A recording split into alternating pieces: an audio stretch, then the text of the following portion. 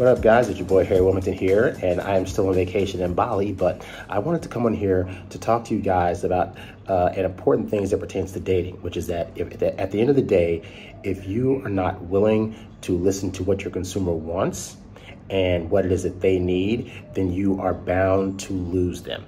And I want to parallel this with what happened in the presidential race of 2024, because for those of you watching this, as you know, Donald Trump won the election this time and became the 47th president. So it's now his second term.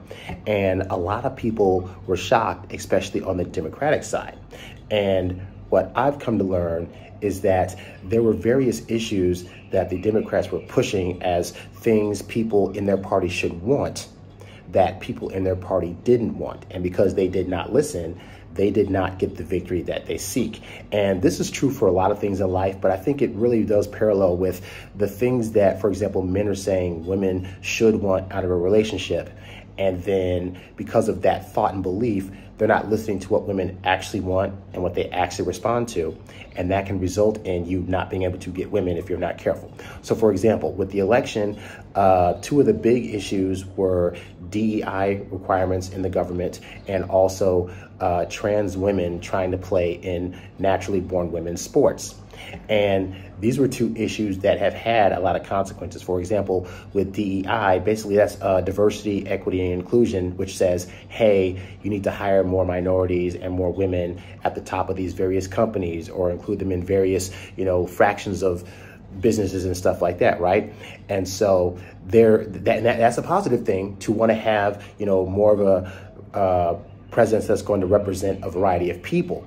But sometimes that comes at the behest of you're hiring somebody specifically because they're minority or a woman, even if the person you're hiring doesn't necessarily have the full qualifications of what's going to be needed to do that job.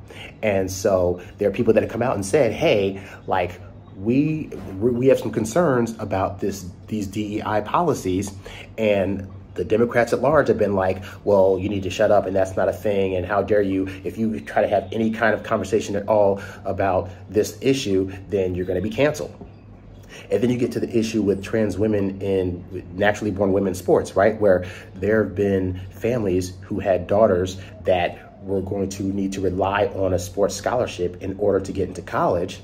But because a person that was born a man and then decided to transition to a woman and wants to compete is now getting those spots, then their daughters have not been able to get those spots. In addition to the whole issue about bathrooms where there have been, you know, high schools, for example, that have allowed 18, 17 year old transitioning women to continue to go into bathrooms in spite of them still having their male parts, right? And so there have been people on the Democrat side that have been in uproar about this and saying, hey, it's not fair that, you know, these men that were that were born men, but now they're trying to be women, and they still have all their parts and whatnot. Like they're allowed in these spaces, and the response from Democrats at large has been, "No, you need to be inclusive. This is how you need to feel about this, and if you don't feel this way about it, then you're a phobe of some kind, and you're going to get canceled."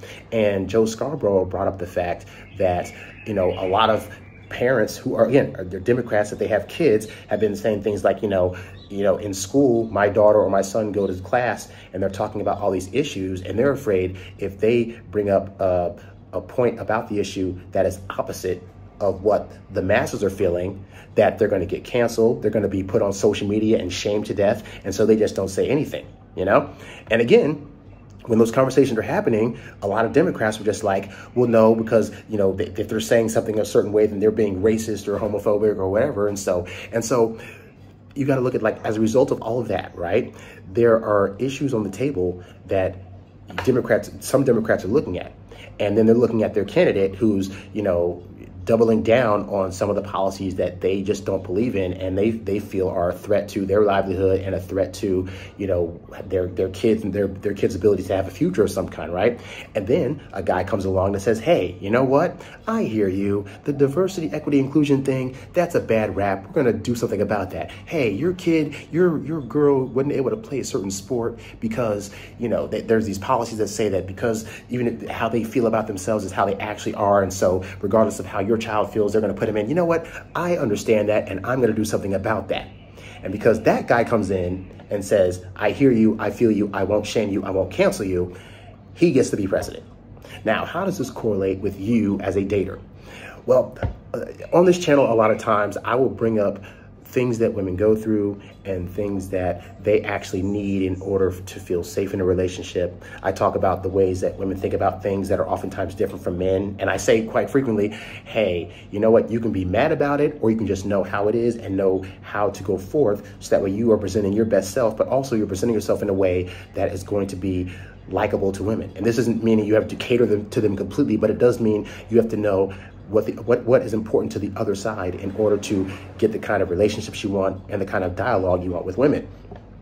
And I'll have guys come in here and say things like, you know, well, why do why do we have to do the thing? And they should just be like this, and they should know how to do that, and blah blah blah. And it's not that I don't agree. It's just that I know that I could should them to death, but I'm sure there's ways that we are that they're shooting us, saying, oh, men should do this or men should lead like this or whatever. But the reality is, is that the, the consumer is going to be who they are. And the consumer is trying to tell you what they want. So, you know, if you're dressing a certain way, if you're approaching women in a certain way that to them seems creepy and you can't figure out, but that shouldn't be creepy. And, you know, I have guys come in here say, for example, you know, why do I hold guys accountable? Why don't I try to, you know, talk about what women should change? And my response is, I already know what women should change, or I know things that I wish they would do differently, but that's not going to affect them and how they operate all I can do on my end is what I need to learn and what I need to do in order to get the results I want and to have a better relationship overall with the women that are being talked to.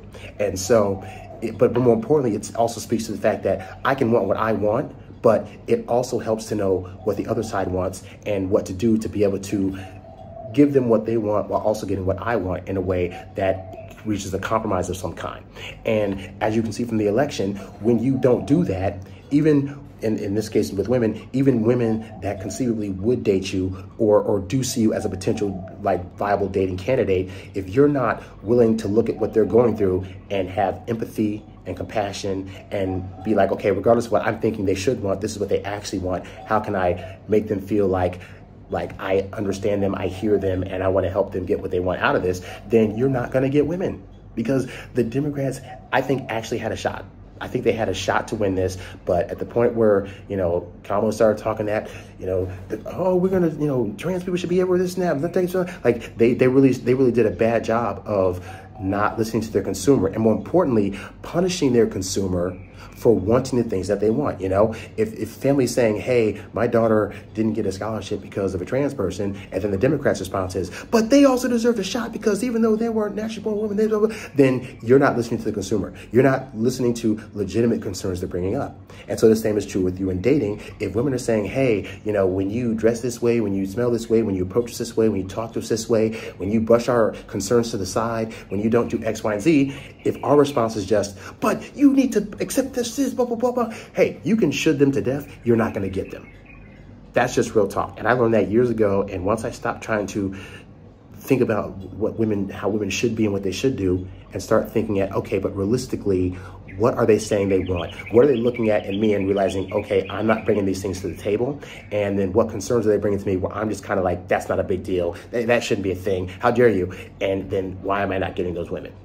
And so I think, I, I wish people would learn from history, but they don't. But the reality is, whether you like the guy or not, Trump knew his base and he knew what they wanted to hear. And there were times on the news where, you know, the, the, the media at large be like, you know, he said this crazy thing and that's so offensive, this, is and that. Whether it was good or not, he knew what the people wanted to hear. He got more support this year from women at large than uh, Kamala did, which means that even though he's saying some crazy stuff, women are responding to it.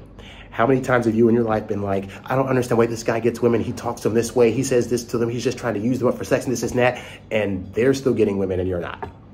And so that's something you got to look at is, again, are you listening to what the consumer wants? Are you looking at what they actually respond to? And are you being able to figure out a way to do that in your own way? Or are you just sitting there trying to shame women to death and trying to say you should want X, Y, and Z, and then wondering why you don't get women? It's just it's just an interesting thought experiment. So consider those parallels. Consider, you know, if you're doing what the, like the Democrats did in your life and not listening to women and not listening to what they actually want, maybe consider that if that strategy is not working, you could be doing something different. Now, if you want some strategies on how to do that, I have uh, my Get Girls Academy, which you can go to at harrywilmington.com. You can check it out. You can see what it has to offer, but it has a variety of things in there that are based on things that I learned over time in dating uh, as to what actually works, like what women are actually responding to, how they actually feel, and how you can actually do things in a way that is going to make women feel like you get them. Because at the end of the day, if a woman doesn't feel like you get her and that you're going to shame her all the time for her just being the way she is,